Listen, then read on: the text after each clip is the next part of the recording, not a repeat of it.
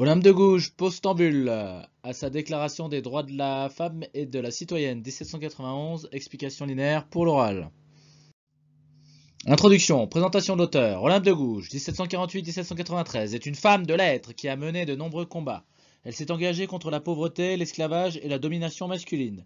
Ses multiples engagements ont fini par lui coûter la vie lorsqu'elle s'est opposée à Robespierre et Saint-Just. Son œuvre la plus connue est la Déclaration des droits de la femme et de la citoyenne, 1791, où elle appelle à l'égalité homme-femme et à la fin des discriminations entre les sexes.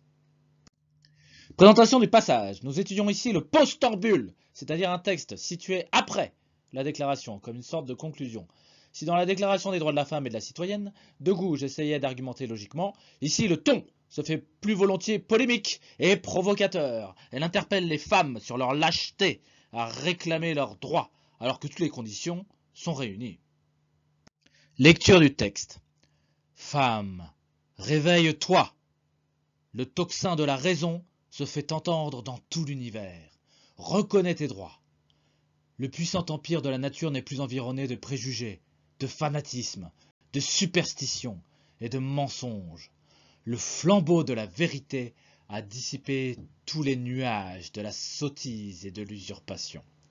L'homme esclave a multiplié ses forces, a eu besoin de recourir aux tiennes pour briser ses fers. Devenu libre, il est devenu injuste envers sa compagne. Ô femme, femme, quand cesserez-vous d'être aveugle? Quels sont les avantages que vous avez recueillis dans la Révolution? Un mépris plus marqué Un dédain plus signalé Dans les siècles de corruption, vous n'avez régné que sur la faiblesse des hommes. Votre empire est détruit, que vous reste-t-il donc? La conviction des injustices de l'homme, la réclamation de votre patrimoine, fondé sur les sages décrets de la nature. Qu'auriez-vous à redouter pour une si belle entreprise? Le bon mot du législateur des noces de Cana Craignez-vous que nos législateurs français, correcteurs de cette morale, longtemps accrochés aux branches de la politique, mais qui n'est plus de saison, ne vous répètent Femme, qu'y a-t-il de commun entre vous et nous? Tout! Auriez-vous à, à répondre. S'ils s'obstinaient, dans leur faiblesse à mettre cette inconséquence en contradiction avec leurs principes, opposez courageusement la force de la raison, aux vaines prétentions de supériorité.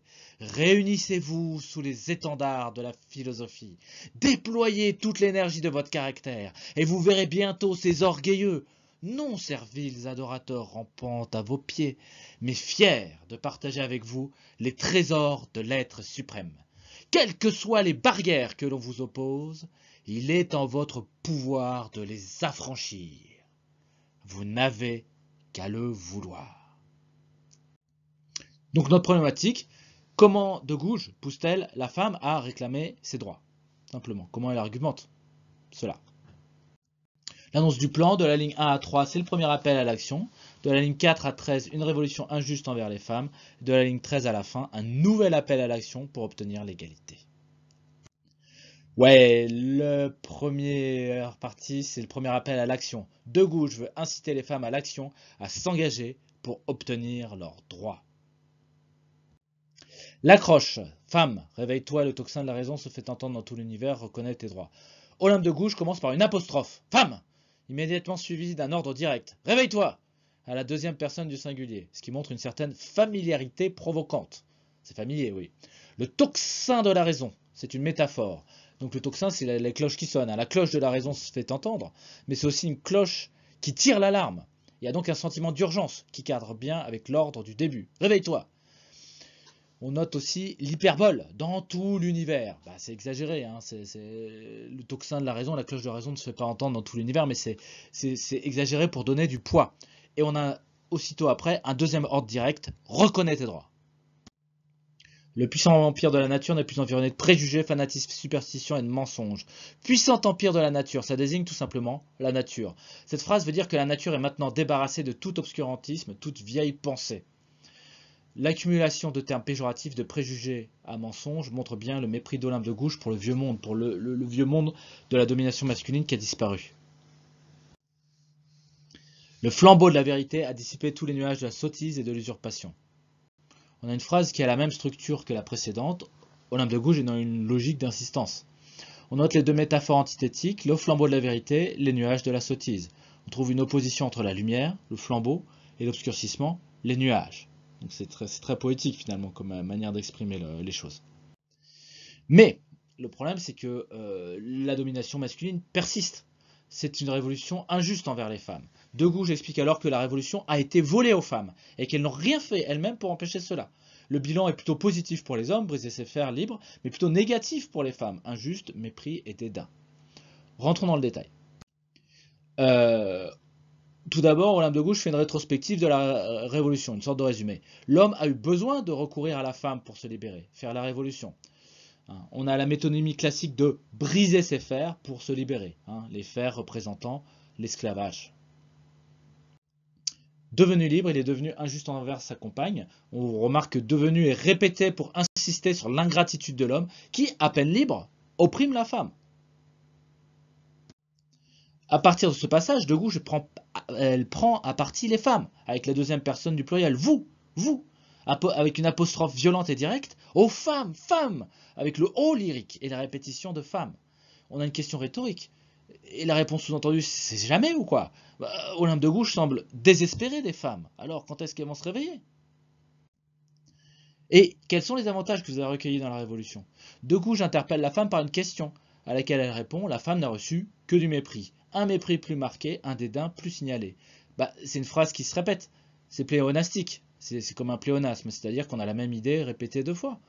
Euh, un mépris plus marqué, un dédain plus signalé, c'est la répétition de la même idée. Euh, donc ça, ça insiste bien sur le mépris que la, femme a récolté de la Révolution. Dans les siècles de corruption, vous n'avez rien que sur la faiblesse des hommes. Alors ici, c'est un passage un peu délicat, mais on le comprend euh, quand on dit que De Gouges fait ici référence au fait qu'auparavant dans l'histoire, on a la métaphore des siècles de corruption, la seule manière pour les femmes de s'élever et, de gagner du pouvoir était la séduction. Vous n'avez réglé que sur la régné que sur la faiblesse des hommes. Votre empire est détruit, que vous reste-t-il donc? Votre empire est détruit, ça veut dire que le temps où les femmes pouvaient utiliser la séduction est terminé à cause de la révolution. Donc on a une nouvelle question pressante de De Gouche, la troisième en quelques lignes. De Gouche, elle a vraiment cette tendance à mener la réflexion avec des, euh, avec des questions. Réponse, euh, donc De Gouche dit que ce qui reste à la femme, c'est la conscience de l'injustice et la nécessité de réclamer ses droits. Votre patrimoine, c'est-à-dire ce qui vous revient.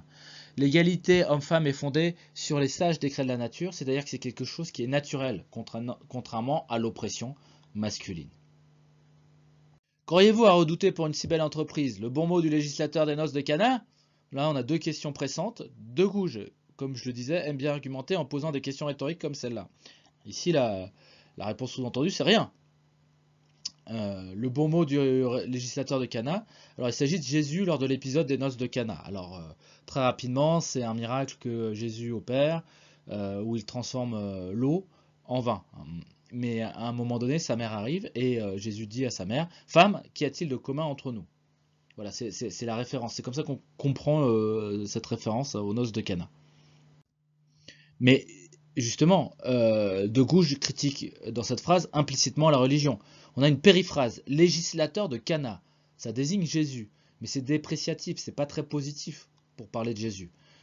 Et, Jésus, en vérité, n'est pas un législateur. Euh, législateur, c'est bizarre comme euh, manière de parler de Jésus. Et de Gouges a l'air de faire remonter l'oppression des femmes à Jésus. Elle dit que les femmes n'ont pas à craindre d'être poussées. Hein, euh, avec ce femme qui a-t-il de commun entre nous dans leurs revendications Il n'y a rien à redouter pour une si belle entreprise de libération. Donc il y a une critique implicite de la religion dans ce passage. Euh, ensuite, il y a une sorte de dialogue imaginaire où elle se moque des législateurs français, c'est-à-dire les députés. Elle personnifie la morale de la domination masculine comme une sorte de singe. Cette morale, longtemps accrochée aux branches de la politique. C'est une image assez originale, assez amusante et euh, assez ironique. Hein. Elle met en valeur l'abcès obsolète de la vieille morale de la domination masculine, puisqu'elle dit qui n'est plus de saison, donc c'est plus d'actualité, c'est fini hein, finalement ces histoires de domination masculine. Et elle reprend à la fin au discours direct la remarque de Jésus aux noces de Cana. Quelle sera la réponse des femmes aux législateurs français? Tout auriez-vous à répondre? Olympe de Gouges refuse toute séparation entre les sexes et revendique l'égalité de droit entre les hommes et les femmes à travers cette réponse très courte d'un seul mot. L'adverbe tout. Donc, de la ligne 13 à la fin, on a un nouvel appel à l'action pour obtenir l'égalité. Olympe de Gouges donne alors des conseils aux femmes pour obtenir l'égalité. Euh, donc, S'ils s'obstinaient dans leur faiblesse à mettre cette inconséquence en contradiction avec leurs principes, opposaient courageusement la force de la raison aux vaines prétentions de la supériorité. On voit que la première partie de la phrase est occupée par l'action des hommes, jusqu'à principe. La deuxième est occupée par l'action des femmes, à partir d'opposés. Donc le vocabulaire qui concerne les hommes est très négatif. S'obstiner, faiblesse, inconséquence, principe, vaines prétentions. Le, vocabulaire associé aux femmes est positif, courageusement, et l'expression force de la raison. Donc euh, effectivement, on a une, un contraste entre l'action nuisible des hommes et l'action positive des femmes. On continue la suite d'impératifs adressés par De Gouges aux femmes. Opposez, réunissez-vous, déployez. Le vocabulaire est toujours positif pour, pour décrire l'action des femmes, énergie, caractère. On a les étendards de la philosophie. C'est une métaphore qui est assez semblable à le tocsin de la raison et le flambeau de la vérité. L'ensemble de ces images donne une image de combat à l'action des femmes. Hein. Étendard, tocsin, flambeau, tout ça. Et vous verrez bientôt, l'utilisation du futur simple verrez et de l'adverbe bientôt montre que la certitude de l'égalité des hommes et des femmes est prochaine. Euh, là, aussi, ce passage, il faut bien expliquer. Ces orgueilleux, non servis l'adorateur rampant à vos pieds, mais fiers de partager avec vous. Donc, de goût, je veux signifier par là que l'égalité des droits ne signifie pas une infériorité pour les hommes. Ça ne signifie pas que les hommes deviendraient les serviteurs de la femme. Hein, euh, on a le lexique de la soumission, servile rampant, mais c'est pas ça, c'est non. Au contraire, elle insiste sur l'idée d'une véritable égalité euh, de droit avec les champs lexicales de l'égalité, partagés et avec vous. Des trésors de l'être suprême, c'est-à-dire les trésors de Dieu. Euh, remarquons que pendant la Révolution, les révolutionnaires ont voulu minimiser l'influence du clergé en remplaçant l'idée de Dieu par l'idée d'être suprême. Donc de Gouges n'est pas contre Dieu, elle est contre le clergé obscurantiste, hein, quand elle prend l'exemple des, noces de Cana. Et là, elle montre effectivement l'homme et la femme réconciliés devant Dieu, devant l'être suprême.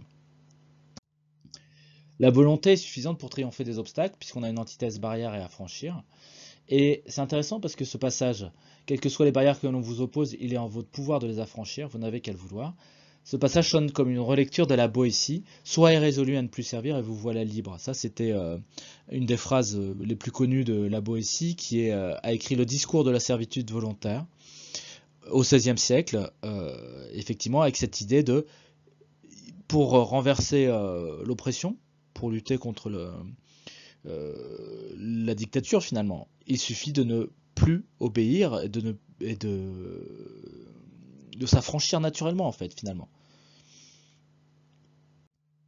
Donc en conclusion, on fait le récapitulatif de ce qu'on a dit et on répond à la problématique. De Gouges termine sa déclaration des droits de la femme et de la citoyenne par un texte argumentatif et polémique, où elle reproche aux femmes de s'être laissé voler la révolution et de ne pas faire assez pour combattre la domination masculine. Le texte est critique envers les femmes, mais aussi plein d'espoir d'une libération et d'une égalité prochaine. Cet espoir est aussi présent dans un autre discours célèbre, au XXe siècle, euh, prenant plus d'égalité entre filles et garçons, notamment par un travail sur l'éducation. Le discours Nous sommes tous des féminismes de Chimamanda Ngozi Adichie. Bon, j'ai dit 20e siècle, mais c'est plutôt 21e siècle Voilà Voilà, voilà. Voilà.